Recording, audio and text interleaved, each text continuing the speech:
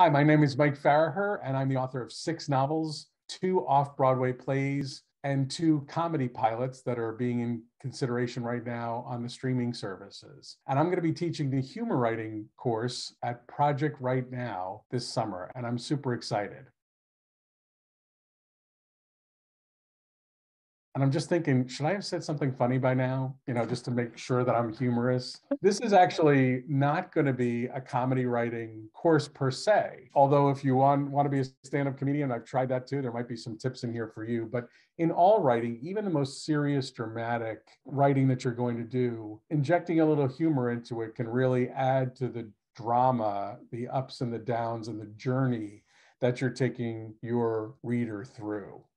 I read somewhere that to amplify the taste of chocolate, you put in a little bit of coffee into the chocolate mix. So humor is sort of like that. It can amplify the sadness and the drama. Or in my case, I've written a number of humorous essay books about growing up Irish and Catholic and guilty called This Is Your Brain on Shamrocks. And I go full on humor. So whether or not you want to be a comedy writer or just amplifying humor to make your dramatic writing more impactful there's going to be something in this course for you. We're going to review dialogue, we're going to review scene setting, and injecting humor into those elements as well. So I'm really looking forward to seeing you, and let's get started.